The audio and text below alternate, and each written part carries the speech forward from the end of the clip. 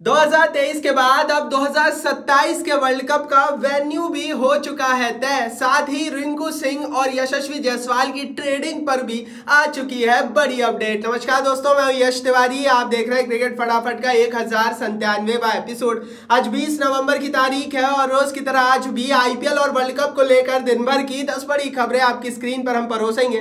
तो एंड तक दोस्तों, वीडियो को ज़रूर देखना, वीडियो को लाइक और शेयर भी ज़रूर करना। दो हज़ार तेईस के आईपीएल के बाद से ही चाहे दो 2024 का आईपीएल हो, चाहे वर्ल्ड कप हो, चाहे 2024 के आईपीएल के लिए ट्रेडिंग या ऑक्शन की बातें हो, खबरें हो, तमाम न्यूज़ खबरें अपडेट हर रोज सबसे पहले हम आपकी स्क्रीन पर परोसते हैं। चैनल को सब्सक्राइब नहीं किया तो फटाफट कर दीजिए सब्सक्राइब का बटन नीचे, फटाफट हिट कीजिए और बेल आइकन दबाइए। चलिए दोस्तों, शुरुआत कर लेते हैं इस वीडियो के। आज दिन भर की पहली बड़ी खबर के साथ तो दुनिया की सबसे बड़ी टीम, सबसे इनफॉर्म टीम सबसे बड़े बड़े प्लेयर से सजी हुई टीम, आखिरकार एक खराब दिन आया। सबसे बुरी बात ये हो गई कि फाइनल के दिन ही वो खराब दिन आना था और इवेंचुअली ऑस्ट्रेलिया के हाथों हार का सामना करना पड़ा। ऑस्ट्रेलिया ने छठवीं बार जो है कल रात में वर्ल्ड कप जीत लिया है अहमदाबाद में। तो ज़ाहिर बहुत इमोशनल मूवमेंट था हर एक हिंदुस्तान के क्रिकेट फ़ैन के लिए, क्योंकि ये वो समय था, ये वो वर्ल्ड कप था। जो कि लग रहा था कि हिंदुस्तान इजीली जीत सकती है। टीम फॉर्म में थी, भारत में हो रहा था, सबको उम्मीद थी। बट यार देखो, सब कुछ अपने हिसाब से नहीं हो सकता और क्रिकेट तो ऐसा है ना कि अनिश्चितताओं का खेल है, सारी प्रिडिक्शन फेल है। तो वही फाइनल में होता हुआ देखा तो congratulation to Australia and India क्योंकि जिस तरह का क्रिकेट हिंदुस्तानियों ने खेला है, सचमुच भाई क्रिकेट जिस तरह का खेल, खेला है, सीना तो चौड़ा हो गया। चलिए दोस्तों, आगे बढ़ते हैं, यहाँ से बात कर लेते हैं दिन भर की दूसरी बड़ी रिपोर्ट की। तो एक खबर दोस्तों प्लेयर्स के हवाले से निकल कर आ रही है हार के बाद हिंदुस्तान के कई प्लेयर्स इमोशनली टूटते हुए मैदान में ही रोते हुए नज़र आए। विराट कोहली, रोहित शर्मा, मोहम्मद सिराज और मेरे हिसाब से सवा सौ, एक सौ चालीस करोड़ जितनी भी गिनती हो, ऐसा कोई बंदा नहीं होगा जो इमोशनल नहीं हुआ होगा, क्योंकि ये बहुत बड़ा वर्ल्ड कप था, ये बहुत करीब था वर्ल्ड कप फाइनल में पहुँचे थे, बहुत अच्छे फॉर्म में थे और सभी इमोशनल हो गए।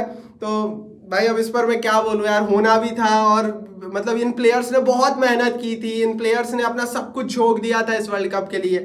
खैर सब कुछ अपने हिसाब से नहीं चलता, फिर वही बात चलिए दोस्तों, आगे बढ़ते हैं। बात कर लेते हैं दिन भर की तीसरी बड़ी खबर की। तो ये खबर निकल कर आ रही है दोस्तों वर्ल्ड कप के प्राइज मनी के हवाले से।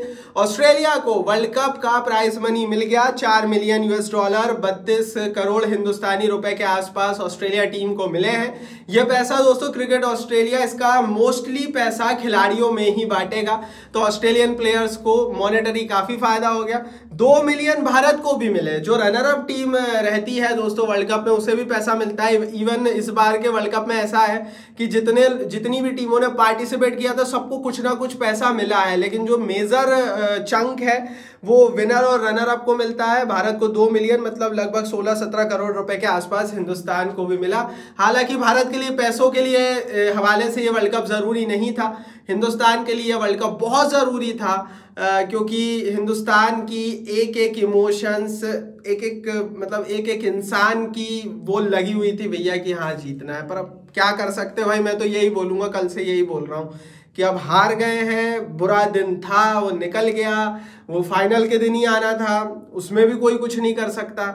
तो नेक्स्ट वर्ल्ड कप का इंतज़ार अब हिंदुस्तान को करना पड़ेगा ओडीआई फॉर्मेट में। लेकिन आगे बढ़ते हैं, चौथी बड़ी खबर की यहाँ से बात करते हैं।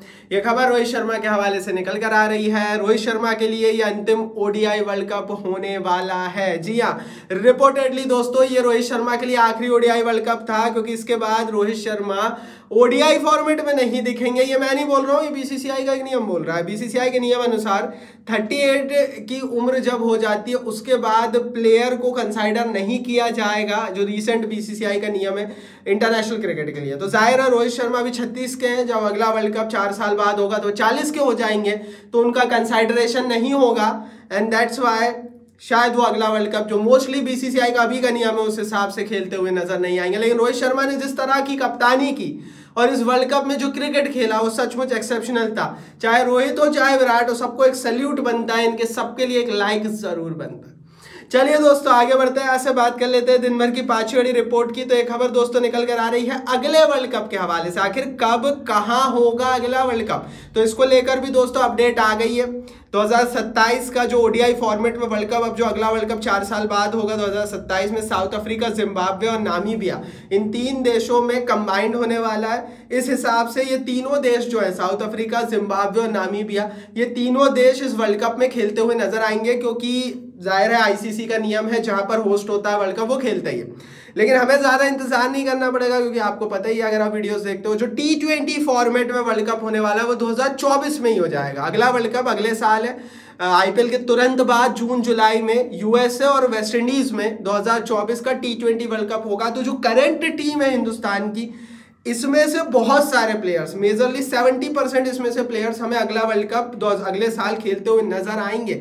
मुझे नहीं लगता कोई बदलाव होगा। और यहाँ से हम उम्मीद कर सकते हैं, जिस तरह के हम फॉर्म में दिखे टी ट्वेंटी वर्ल्ड कप जीत सकते हैं। तो अभी है मौका लाइक बनता है अगले वर्ल्ड कप के लिए। कोशिश रहेगी पूरी हिंदुस्तान की एक एक हिंदुस्तानियों की। चलिए दोस्तों, आगे बढ़ते हैं। आज से बात कर लेते हैं। दिन भर की छठवीं बड़ी रिपोर्ट की तो यशस्वी जायसवाल की ट्रेडिंग को लेकर अपडेट है। देखो वर्ल्ड कप खत्म हो गया, लेकिन आईपीएल की ट्रेडिंग और नीलामी की उल्टी गिनती शुरू हो गई।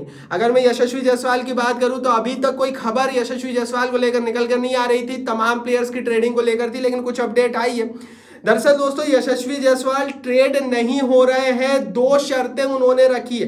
पहली शर्त राजस्थान रॉयल्स के सामने यशस्वी जायसवाल ने रखी है कि उन्हें 12 करोड़ रुपए में रिटेन किया जाए। उनकी जो अभी चार करोड़ की करंट जो प्राइस है, उसको तीन गुना कर दिया जाए तो वो राजस्थान रॉयल्स के साथ अगला सीज़न खेलेंगे। अगर उन्हें इतने पैसे में रिटेन नहीं किया गया तो यशस्वी जायसवाल ने कहा है कि वो नीलामी में चले जाएँगे। चार करोड़ रुपए अभी तक यशस्वी जायसवाल को मिल रहे थे, लेकिन यशस्वी जायसवाल ने हाइक मांगी है, ज़्यादा पैसे मांगे मेरे हिसाब से दोस्तों यशस्वी जायसवाल एक्स्ट्रा पैसा मांग सकते हैं, क्योंकि अगर ये बंदा नीलामी में गया ना तो पंद्रह सोलह करोड़ रुपए में इजीली बिकेगा, कोई सी भी टीम खरीदेगी इस तरह के इनफॉर्म प्लेयर्स को। लेकिन अगर मैं यशस्वी जायसवाल के नज़रिए से बात करूँ तो आज की परिस्थिति में यशस्वी जायसवाल के लिए ज़्यादा अच्छा है राजस्थान रॉयल्स में जुड़े रहना। क्योंकि अगर वो ऐसी टीम में चले गए, जैसे पंजाब ऐसा रहे जो कि हर साल अपने प्लेयर्स बदलती हैं, ऐसी टीम में वो स्टेबल नहीं हो पाएँगे और उनका जो आईपीएल में करियर है ना, वो भी कभी स्टेबल नहीं हो पाएगा। तो अगर आपको आईपीएल में एक स्टेबल करियर चाहिए तो आपको एक स्टेबल टीम के साथ जुड़े रहना चाहिए। एंड हमने आईपीएल का इतिहास देखा है, वो प्लेयर्स बहुत ज़्यादा सक्सेसफुल रहे हैं, जो कि एक टीम के साथ लगातार जुड़े रहे हैं, चाहे कितना भी पैसा हो। तो मेरे हिसाब से यशस्वी जायसवाल को अगर आईपीएल में स्टेबिलिटी चाहिए है अच्छा करियर तो उन्हें राजस्थान के साथ जुड़े रहना चाहिए। बाकी भैया, उनकी मर्ज़ी है, आप बताओ क्या होना चाहिए कमेंट बॉक्स नीचे। चलिए दोस्तों, आगे बढ़ते हैं से बात कर लेते हैं दिन भर की सातवीं बड़ी रिपोर्ट की। तो रिंकू सिंह को लेकर भी अपडेट है। रिंकू सिंह ने के वालों से रिटेंशन के लिए सात करोड़ हिंदुस्तानी रुपए मांगे। आपको बता दूँ दोस्तों की रिटेल लिस्ट आने में अभी एक हफ़्ते का समय है, छब्बीस तारीख के आसपास रिटेल लिस्ट आ जाएगी। तो इन सात दिनों में बहुत कुछ घटने वाला है और रिंकू रिंकू सिंह ने सात करोड़ रुपए की जो है वो डिमांड कर दी है। ज़ाहिर है, पचपन लाख रुपए अभी करंट स्थिति में के दे रहा है, जो कि कहीं से भी जायज़ नहीं है, जिस तरह के फॉर्म में रिंकू सिंह है। अगर उन्हें सात करोड़ नहीं देते तो क्या होगा? तो उसका जवाब भी आ गया। अगर नहीं देते हैं तो वो भी नीलामी में जाने की कह रहे हैं। देखो यार आ, मैं के आर की बात नहीं करूँगा मैं रिंकू सिंह की बात नहीं करूँगा क्योंकि ज़ाहिर है राजस्थान और जायसवाल की बात अलग है रिंकू सिंह और के आर की टीम की बात अलग है लेकिन इतना ज़रूर कह सकते हैं भाई कि अगर एक टीम के साथ जुड़े रहते हैं ना कोई भी प्लेयर हो तो उस टीम के साथ लॉयल्टी बन जाती है और भले ही थोड़े से कम पैसे में भी प्लेयर खेले लेकिन एक लंबा आईपीएल करियर उस प्लेयर को मिलता है क्योंकि आईपीएल बहुत अनसर्टेन है। आपने दो साल चले आपको बीस करोड़ मिल गए आपने दो साल नहीं चले तो आपको कोई खरीदार भी नहीं मिला और ऐसी स्थिति में आपका करियर दो तीन साल के लिए फिर बैठ गया। ये होता है आईपीएल में कई खिलाड़ियों के साथ तो इससे बच के रहने की प्लेयर्स को ज़रूरत है। एंड दैट्स वाई मैं रिंकू, मेरे हिसाब से रिंकू सिंह को भी के के साथ थोड़े से कम पैसे में एडजस्ट कर लेना चाहिए। मेरी मेरी राय। बाकी आप इस पर अपनी राय कमेंट बॉक्स में लिखिए। चलिए दोस्तों, आगे बढ़ते हैं। आठवीं बड़ी रिपोर्ट की यहाँ से बात कर लेते हैं। तो ये खबर दोस्तों, अंग्रेज़ खिलाड़ियों के हवाले से निकल कर आ रही है। वर्ल्ड कप बहुत बुरा रहा अंग्रेज़ खिलाड़ियों का, लेकिन 2024 के आईपीएल से जुड़ी हुई खबर है। इंग्लिश क्रिकेट बोर्ड जो है मतलब ईसीबी e जो है, उसने इंग्लिश प्लेयर्स से कहा है कि वो आईपीएल आपको पूरा नहीं खेलने देंगे भैया, हम आपको बीच आईपीएल से बुला लेंगे। इंग्लिश क्रिकेट बोर्ड ने साफ़ साफ़ कह दिया है कि आप पूरा आईपीएल अगले साल का नहीं खेलेंगे, क्योंकि अगले साल वर्ल्ड कप भी है और आईपीएल के चक्कर में हम आपको अनफिट नहीं कर सकते। तो ज़ाहिर है, यहाँ से इंग्लिश क्रिकेट बोर्ड ने अपने जज्बात, नज़रिए साफ़ कर दिए है कि जो खराब फॉर्म इनका वर्ल्ड कप में रहा था, उसका ठीक रहा। ये लोग आईपीएल में फोड़ने वाले हैं और अच्छी तरीके से अपने खिलाड़ियों पर लगाम लगाने वाले इसका नुकसान इंडियन प्रीमियर लीग को 2024 में कई अंग्रेज़ प्लेयर्स की अनुपस्थिति के साथ उठाना पड़ेगा। अब, क्या सचमुच बहुत ज़रूरी है अंग्रेज़ खिलाड़ी? इस पर आप अपनी राय कमेंट बॉक्स में ज़रूर लिखना। मेरे हिसाब से तो कुछ हद तक इंग्लैंड के खिलाड़ी ज़रूरी है आईपीएल के लिए। चलिए दोस्तों, आगे बढ़ते हैं। नौवीं बड़ी खबर की बात करते हैं तो कल मिचेल मार्श, जिन्होंने कल ऑस्ट्रेलिया के हवाले से वर्ल्ड कप भी उठाया। 2024 के आईपीएल को लेकर एक खबर आ गई उनको लेकर। मिचेल मार्श, हो सकता है कि वो 2024 का आईपीएल ना खेले, वो डिनाई कर सकते हैं, क्योंकि उन्हें रेस्ट चाहिए टी ट्वेंटी वर्ल्ड कप से पहले। अब ये जो ऑस्ट्रेलिया की टीम है ना, ये ऐसी वैसी टीम नहीं है, हमने इनको देख लिया। स्टार्टिंग में क्या हुआ था वर्ल्ड कप में? ऐसा लग रहा था ऑस्ट्रेलिया बाहर हो जाएगी, ये वर्ल्ड कप जीत के निकले अब इन लोगों की प्रिपरेशन हो रही है 2024 की और बिल्कुल फुल तैयारी है इनको 2024 में भी कप की। तो भैया, इनसे तो सचमुच बच के रहना पड़ेगा।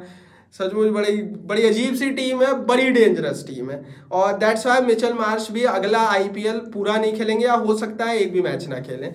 अब इससे किसको नुकसान होगा? क्या दिल्ली को बहुत ज़्यादा? बताना कमेंट बॉक्स में। दसवीं बड़ी खबर की बात करते हैं। सचिन के हवाले से रिपोर्ट आ रही है। कल सचिन तेंदुलकर प्लेयर्स के पास पहुँचे, जब प्लेयर्स निराश और हताश खड़े हुए थे पोस्ट मैच सेरेमनी में। सचिन ने एक एक खिलाड़ी से बात करी, जो प्लेयर्स रो रहे थे इमोशनल थे। उन्हें चुप कराया, उन्हें बैकअप दिया, उन्हें बैकिंग दी।